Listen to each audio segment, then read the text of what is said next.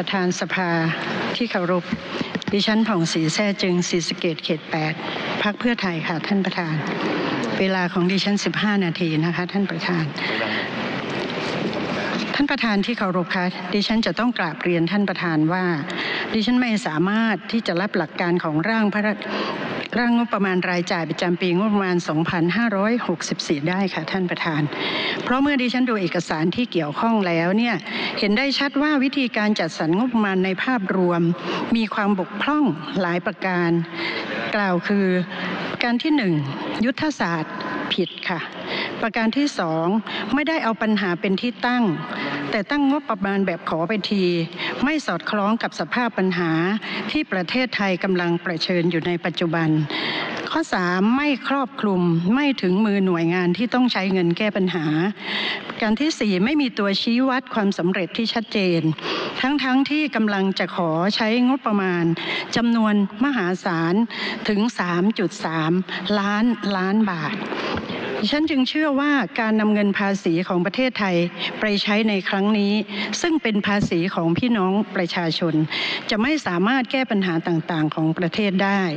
ดิฉันจะขอยกตัวอย่างการใช้เงิน 6,286.4 พันล้านบาท เพื่อแก้ปัญหาแก้ไข ป้องกันปัญหายาเสพติด ซึ่งปรากฏอยู่ในยุทธศาสตร์ยุทธศาสตร์ที่หนึ่งใน 6 ยุทธศาสตร์ คือยุทธศาสตร์ด้านความมั่นคง ในแผนงานข้อที่ 1.5 คือแผนงานบูรณาการ ป้องกันปราบปรามและบำบัดรักษาผู้ติดยาเสพติด ที่มาของข้อมูลนี้คือเอกสารงบประมาณโดยสังเขปประจำปีงบประมาณ 2564 หน้าที่ 9 ค่ะ ท่านประธานเหตุที่ดิฉันขอหยิบยกประเด็นปัญหายาเสพติดขึ้นมาอภิปรายในวันนี้ ก็เพราะปัญหายาเสพติดถือเป็นปัญหาเป็นภัยคุกคาม ทุกประเทศระดับโลก ทุกประเทศให้ความสำคัญ ทั้งนี้จากสถิติขององค์การสหประชาชาติ ซึ่งเพิ่งออกแถลงการไปทั่วโลกเมื่อวันที่ 25 มิถุนายน 2563 ที่ผ่านมาสดสดร้อนๆนนี้ ระบุว่าปัจจุบันมีประชากรทั่วโลกติดยาเสพติดสูงถึง 269 ล้านคน อายุ 15 ถึง 64 ปี คิดเป็น 5.4เปอร์เซ็นต์ของประชากรโลกซึ่งเป็นตัวเลขล่าสุดของปี 2561 น่าตกใจมากไหมคะ ท่านประธาน เมื่อเทียบกับ 10 ปีก่อนหน้านี้ จะเห็นได้ว่าผู้ติดยาเสพติดเพิ่มมากขึ้นถึง 30%ที่มาของข้อมูลคือเอกสารการถแถลงข่าวขององค์การสหประชาชาติ ปี 2563 ในส่วนของประเทศไทยขณะนี้มีผู้ติดยาเสพติดจำนวน 1.4 ล้านคนจากข้อมูลของปปสนะคะ ยิ่งช่วงหลังสถานการณ์โควิด ปัญหาการแพร่ระบาดของยาเสพติดก็จะยิ่งเลวร้ายมากขึ้น เพราะทุกรัฐบาลทั่วโลก เพราะทุกรัฐบาลทั่วโลกประเมินว่า สถานการณ์เศรษฐกิจทั่วโลกจะตกต่ำและอาจจะมีคนตกงานเพิ่มมากขึ้นเป็นประวัติการปัจจัยเรื่องการไม่มีงานทำกับปัญหายาเสพติดนั้น มีความสำคัญต่อกันอย่างมีนัยยะสำคัญ นั่นคือคนว่างงานมีแนวโน้มสูงที่จะเข้าไปยุ่งเกี่ยวกับยาเสพติดมากขึ้น ซึ่งเมื่อดูสถิติผู้ติดยาของประเทศไทยเอง จะเห็นว่าสถิติของผู้ป่วยยาเสพติดที่เข้ารับการบำบัดที่สถาบันธัญรักษ์ ระหว่างปีพศ 2556 ถึงปีพศ 2559 มีคนว่างงานเข้ารับการบำบัดมากที่สุดเป็นอันดับหนึ่งค่ะท่านประธาน เมื่อเทียบกับกลุ่มคนในอาชีพอื่น ๆ ยกตัวอย่างเช่น ปี 2556 มีผู้ติดยาเสพติดเข้ารับการบำบัดรวมทั้งสิ้น 7,960 คน หรือคิดเป็น 44.54%ของผู้ติดยาเสพติดจากทุกกลุ่มอาชีพเป็นต้น ที่มาข้อมูลนี้ก็คือเว็บไซต์ของสถาบันบำบัดรักษาและฟื้นฟูผู้ติดยาเสพติดแห่งชาติ บรมราชชนนีปี 2562 เห็นไหมคะว่าท่านประธาน เรื่องของยาเสพติดเป็นเรื่องที่มีความสำคัญเป็นลำดับต้นๆ สภาพัฒนาเศรษฐกิจและสังคมแห่งชาติ ก็เพิ่งออกมาแถลงข่าวว่า หลังสถานการณ์โควิด จะมีคนไทยตกงาน ราว 10 ล้านคน แต่ไม่ทราบว่ารัฐบาลได้เตรียมการรับมือเรื่องนี้อย่างไร งบประมาณที่ตั้งไว้ 6,286.4 ล้าน จะเพียงพอในการแก้ปัญหาหรือไม่ การค้ายาเสพติดในปัจจุบันนี้ได้พัฒนาไปอย่างมากมาย ไม่ว่าจะเป็นการซื้อการขายทางออนไลน์ จะมือจะรับมืออย่างไร และที่สำคัญอีกอันหนึ่งนะคะท่านประธาน การค้า องค์การสหประชาชาติระบุว่า การที่รัฐบาลในหลายประเทศ ทั่วโลกปลดกัญชาออกจากการเป็นยาเสพติดต้องห้ามนั้น ผลนี้ทำให้จำนวนของผู้เสพกัญชา พุ่งสูงขึ้นเป็นอันดับหนึ่งของยาเสพติดที่ถูกเสพมากที่สุดในโลกแล้วค่ะ ท่านประธาน จนแซงยาเสพติดที่เคยครองอันดับหนึ่งอย่างเฮโรอีน ฟิน หรือมอร์ฟีนไปแล้ว รัฐบาลของเราจะรับมืออย่างไรแต่ทั้งๆทที่ปัญหายาเสพติดมีความสำคัญขนาดนี้ และเป็นวาระสำคัญระดับโลกแต่รัฐบาลพลเอกประยุทธ์จันโอชา กลับจัดสรรงบประประมาณสำหรับการนี้เพียงน้อยนิดค่ะท่านประธาน เมื่อเทียบกับค่าใช้จ่ายอื่น ๆ งบประมาณเพียง 6,286.4 ล้านบาทดูแลรักษาป้องกันปราบปราม เยียวยาคนที่ติดยาในประเทศไทยที่มีประชากรเกือบ 70 ล้านคน เทียบกับงบประมาณทั้งประเทศ 3.3 ล้านล้านบาท คิดเป็นสัดส่วนได้เท่าไหร่คะท่านประธาน 0.19เปอร์เซ็นต์ค่ะ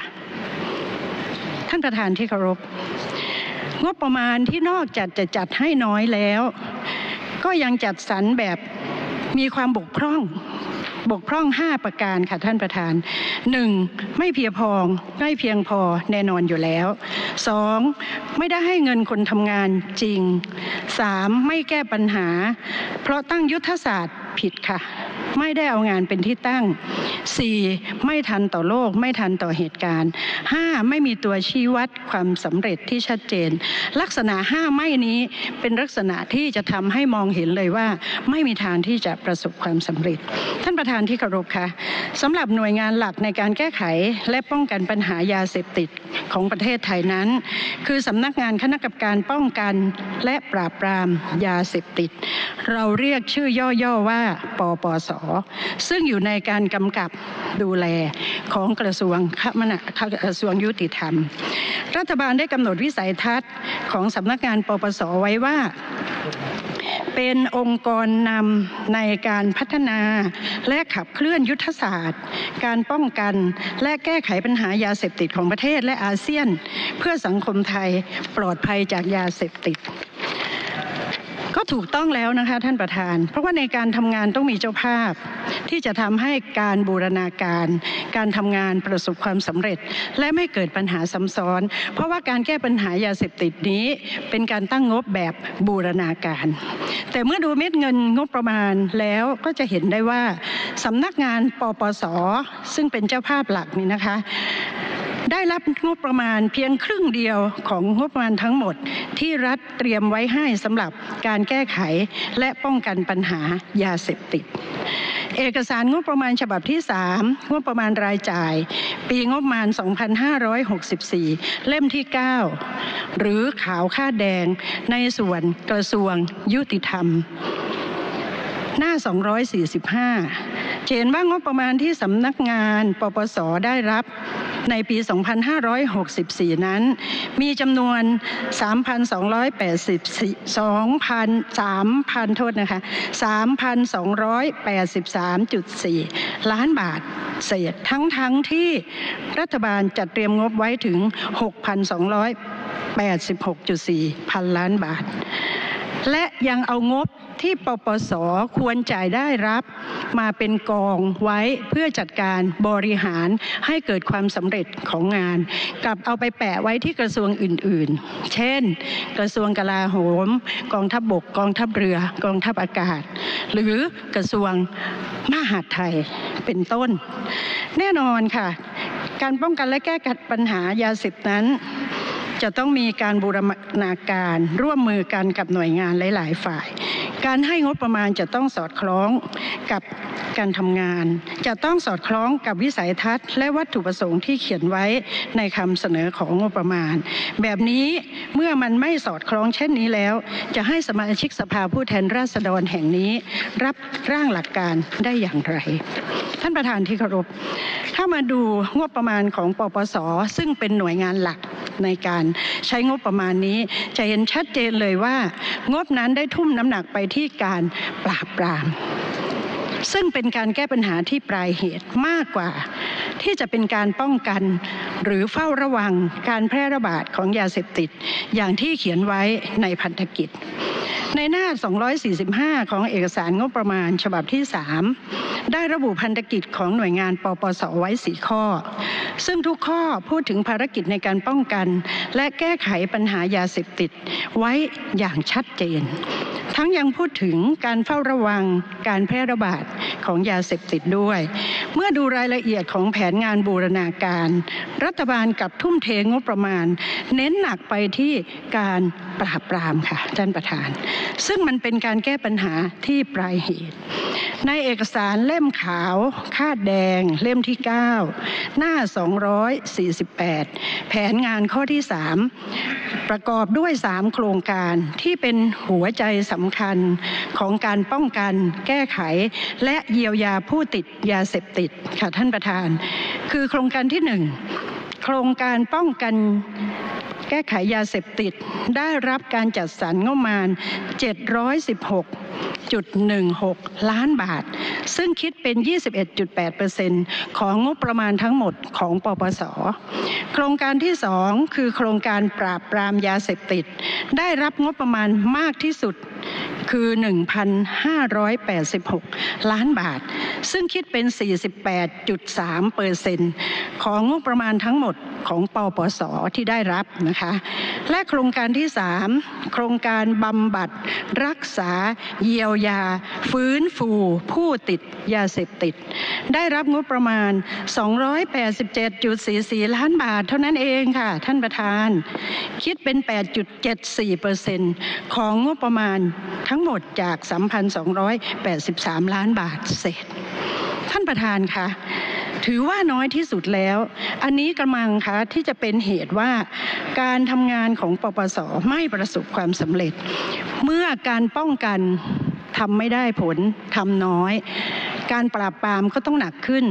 และผู้ที่เล็ดลอดผ่านขบวนการนี้เข้ามา การเยียวยาน้อยนิดมากเลย การเยียวยาฟื้นฟูช่วยเหลือเพื่อให้กับเขากลับไปเป็นคนดีของสังคม ให้งบประมาณเพียง 8.74เปอร์เซ็นต์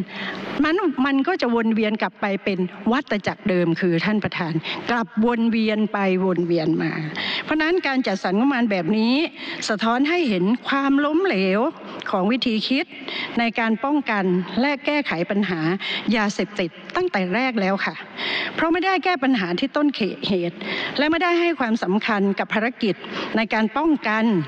และเยียวยาผู้ติดยาเสพติดอย่างที่อ้างไว้ในคำของบประมาณ เห็นได้ชัดจากส่วนสัดส่วนการจัดสรรเม็ดเงิน ที่รัฐบาลจัดสรรให้กับภารกิจ ในการป้องกันและเยียวยาผู้ติดยาซึ่งต่ำมาก โดยความจริงแล้วการเยียวยาฟื้นฟูผู้เสพยาเสพติดให้กลับมาใช้ชีวิตในสังคมได้ ถือว่าเป็นเรื่องที่สำคัญมากที่สุด เพราะเป็นการคืนทรัพยากรมนุษย์ที่มีคุณภาพ ให้กลับมาเป็นกำลังสำคัญ เพราะเป็นการคืนทรัพยากรมนุษย์ที่มีคุณภาพ ให้กลับมาเป็นกำลังสำคัญในการพัฒนาบ้านเมืองค่ะ ท่านประธาน แต่เป็นที่น่าเสียใจมากงบประมาณได้เพียงน้อยนิด ยิ่งมาดูรายละเอียดของโครงการปราบปรามยาเสพติดนะคะ ท่านประธานว่าเอาเงินไปทำอะไรบ้าง ยิ่งเป็นที่น่าตกใจใหญ่เลยค่ะ ส่วนใหญ่นั้นเงินที่ได้จำนวน 1,132 ล้านบาทเนี่ยถือเป็น 35%นะคะท่านประธาน เอาไปใช้เป็นเงินสินบนและรางวัลในการนำจับค่ะท่านประธาน นี่อาจจะเป็นสาเหตุว่าทำไมปปสจึงไม่ประสบความสำเร็จในการป้องกันปราบปรามและบำบัดผู้ติดยาเสพติด เพราะไม่ได้งบประมาณก็น้อยอยู่แล้ว และเอามาใช้ก็ไม่เกิดประโยชน์เท่าที่ควรด้วย นอกจากนี้ความซับซ้อนซ้ำซ้อนของการใช้งบประมาณนะคะท่านประธาน มีทั้งการใช้จ่ายในระดับภาค ระดับจังหวัด 151 ล้าน ค่าใช้จ่ายด้านการปรับปรามระดับตำบล 20 ล้าน ซ้ำซ้อนไหมคะท่านประธาน ขออนุญาตต่อเวลาอีกนิดหนึ่งนะคะเป็นเวลาของของพักนะคะท่านประธาน นอกจากจะมีการจัดสรรงบมาในพื้นที่นี้แล้ว ก็ยังมีการจัดสรรงบมาในระดับพื้นที่ชายแดนท่านประธานคะพื้นที่ชายแดนนี่เป็นที่รู้กันว่าภาคเหนือและภาคใต้มีการภาคเหนือมีการนำเข้ายาเสพติดมากที่สุด แต่ภาคอีสานนี่รองลงมานะคะ แต่การจัดสรรงบนั้นจัดสรรให้งบพื้นที่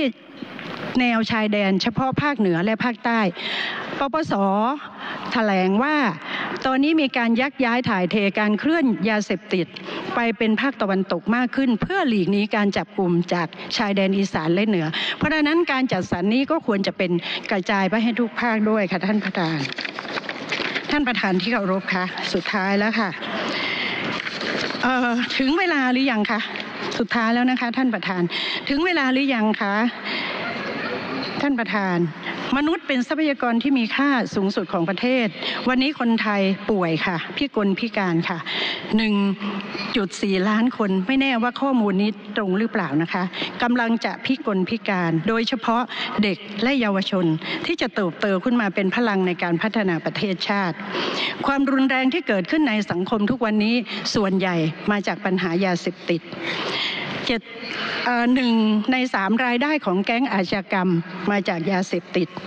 คดีน้องชมพู่ก็ตามที่กำลังดูกันขณะนี้ เหมือนว่าจะวกวนไปเกี่ยวข้องกับยาเสพติดดิฉันอยากเห็นการแก้ปัญหาอย่างจริงจังทำได้ไหมคะ ท่านประธานผ่านไปถึงท่านประยุทธ์ ดิฉันเชื่อว่าท่านรักประเทศชาติ รักคนไทย ตั้งเป็นวาระแห่งชาติได้ไหมคะ ดิฉันเชื่อว่าทุกคนพร้อมจะให้ความร่วมมือ คนบุคลากรในกระทรวงมหาดไทยพร้อมค่ะ เขาอยู่กับชาวบ้านอยู่กับหมู่บ้าน เขารู้ว่าใครค้า ใครเสพ ใครอย่างไรเขารู้หมดค่ะ แต่สิ่งที่มันยังลักลักลั่นลั่นยังไม่เต็มที่ก็คือ เขาไม่มั่นใจในระบบการป้องกันการแก้ไขปัญหาของรัฐบาล เอาจริงแค่ไหนอย่างไร เขาไม่เชื่อมั่นค่ะ เพราะนั้นถ้ารัฐบาลเอาจริงทำเหมือนที่เราสู้กับโควิด -19 ทำไมมันจะ ไม่ได้คะท่านประธาน ผู้หญิงเป็นเหยื่อของยาเสพติดมากและได้รับผลกระทบมากที่สุด เพราะเมื่อผู้หญิงติดแล้วเสพแล้วเนี่ยความเป็นแม่ความเป็นภรรยา ความที่กังวลว่าถ้าไปบำบัดรักษาแล้วลูกจะอยู่กับใครสามีจะอยู่ยังไง จะมีเงินเลี้ยงดูใครไหม เพราะฉะนั้นผู้หญิงจะเป็นผู้ที่ได้รับผลกระทบมากที่สุดเช่นกันกับเด็กเล็ก ๆ ค่ะ ท่านประธาน ดิฉันหวังว่าสิ่งที่ดิฉันได้อภิปรายมาวันนี้ จะส่งผลให้รัฐบาลได้ไปปรับปรุงเปลี่ยนแปลง ทั้งแนวคิด เก็บข้อมูล ให้ประชาชนมีส่วนร่วมในการแก้ปัญหา เขาจะเป็นผู้ร่วมรับร่วมรู้ ร่วมแก้ ร่วมภูมิใจในสิ่งที่มันจะเกิดขึ้น ขบวนการต่างๆ ตั้งงบให้เพียงพอด้วยนะคะท่านประธานเอาเป็นวาระแห่งชาติ เพราะดิฉันเชื่อว่าความมั่นคงของชาติขึ้นอยู่กับความมั่นคงของมนุษย์ เพราะมนุษย์คือทรัพยากรของชาติที่จะทำให้บ้านเมืองเจริญเติบโตได้ค่ะ ท่านประธานขอบพระคุณค่ะ ครับขอบคุณนะครับ ต่อไปคุณนิกรจำนงฮะกับเรียนท่านประธานที่เคารพผมนิกรจำนง สมาชิกสภาผู้แทนราษฎร